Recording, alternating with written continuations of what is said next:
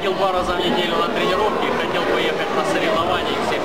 Да? И говорил, я никогда не умираю на мешках и на тренировках, у меня безуха неимоверная. А по факту, что? Далеко не так все получилось, потому что во втором раунде уже не мог ни рук поднять, ни удар бросить. Поэтому кучно соревнования, занимайся пять раз в неделю.